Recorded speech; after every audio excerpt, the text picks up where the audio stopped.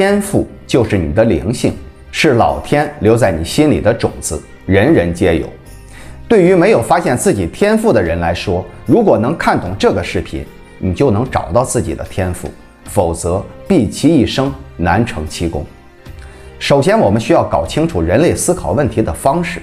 我们身体对于外部物质世界的感受，其实是由两套系统来负责，一套是大脑的思维系统。我们称之为意识，一套是新的思维系统，我们称之为心识。区分开了意识和心识这两套系统，你就基本找到了进入天赋的窄门。百分之九十以上的人都是使用大脑来思考，也就是使用意识这套系统。而意识思考的原料来自于五官和身体感受，也就是眼、耳、鼻、舌、身。看到小姐姐，你就想谈恋爱；看到美食，你就想尝尝；看到别人干什么，你也想试试。这些都是由意识这套系统来完成。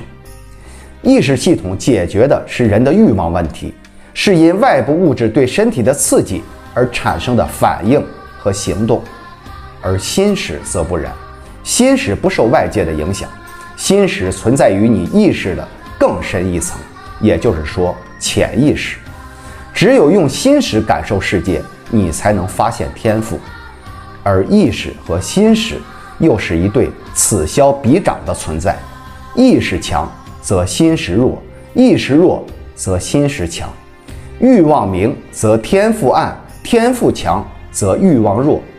所以你会发现，那些有天赋的人欲望都很低，对物质生活要求都很少，比如。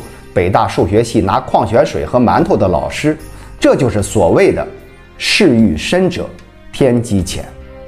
而对于绝大部分人来说，身体的欲望非常足，意识很强，物质欲旺盛，所以心识很弱，天赋很暗，很难发现。老子说：“手弱曰强”，这个弱就是心识，也就是天赋。那么，如何点亮自己的心识，找到天赋呢？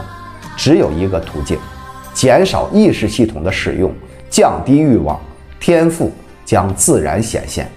而这个过程，没有人能帮你。天赋在中庸被称之为成，成者自成，而道者自道也。